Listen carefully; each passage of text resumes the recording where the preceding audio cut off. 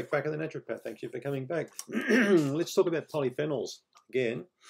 And look at some of the foods, the best foods in terms of polyphenol content. Okay, so I've drawn up a list here, which we're going to talk about. Probably can't see it. There's all the light reflecting off it. Probably the highest group of polyphenol really um, would be things like spices. All right. If we look at cloves, the star aniseed, and we look at the turmeric, and we look at like various spices like that, these are exceedingly concentrated sources of polyphenol. So everything I'm going to tell you here is based on per 100 grams. Okay. So if we look at cloves, the spice called cloves, obviously you're not going to eat 100 grams of cloves. You know, you'd probably end up in, in hospital if you ate that much. You'd be pretty sick. But because the polyphenol content is so high of spices, you only need a tiny little bit to still get a significant amount in your diet. Okay. There you can see why I like adding things like you know cloves and star aniseed and cinnamon and turmeric and these sort of things to my cooking because you're just getting more antioxidants, right? more polyphenols in your diet. So cloves contain over 15,000 milligrams of polyphenol per 100 grams of cloves. That's a lot of uh, you know of polyphenol content. Star aniseed um, is a lot less. We're looking at, at a, just over 5,000 really, between 5 to 6,000 milligrams, which is still a lot. Star aniseed is a beautiful spice to, to eat. You might want to have a look at that one. Peppermint is also exceedingly high.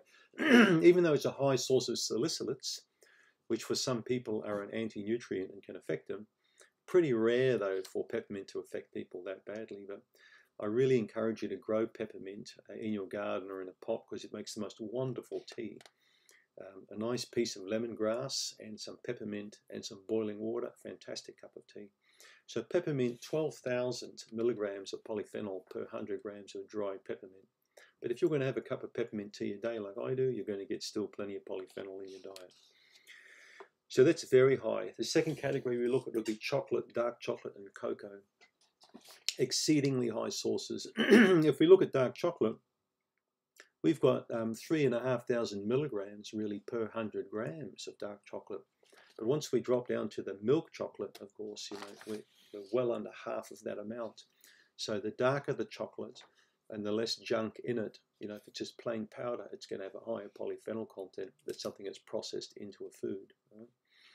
So chocolate and cocoa, boom, right up there with polyphenols with you know the antioxidant value again. If we look at the third category, we're looking at the berry fruits, particularly the purple and the blueberries. Okay, uh, blueberries contain around five to six thousand milligrams of, of polyphenols per hundred grams of blueberries. When we drop down to strawberries and raspberries, you know we're going to drop down uh, exponentially. But always think about that purple, that blue purple color. Uh, that's the one really that you're looking for. So that's the berries. So blackberries, for example, 260 milligrams, and blueberries 560 to 600 milligrams uh, per 100 grams of, of the berry.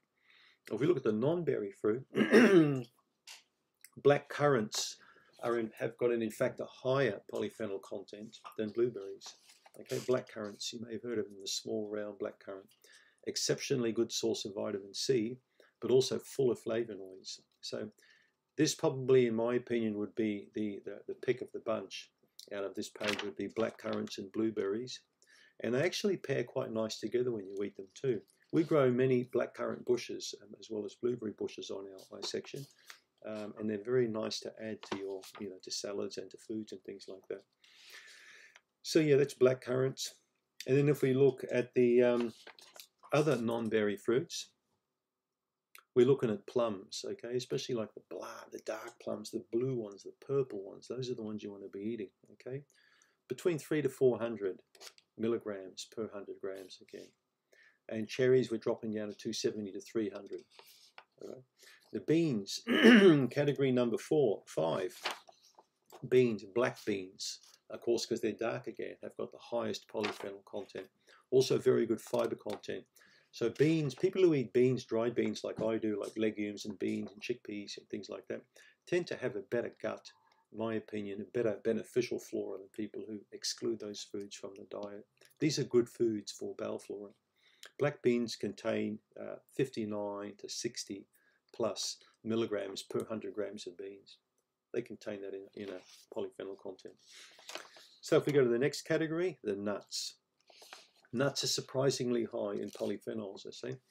Um, if you look at hazelnuts, if you look at pecan, pecans or pecans, whatever you want to call them, hazelnuts have got a very high content, uh, between four to 500 milligrams per 100 grams of nuts. And pecans are around about the same, about four to 500.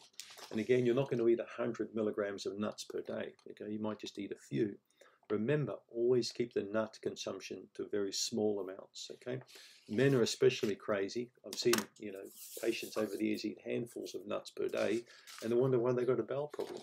Right? you only need a few.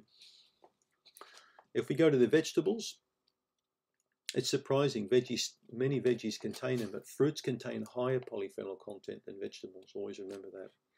Red onions, 170 milligrams of polyphenol per 100 gram. Artichoke, between 2 to 300.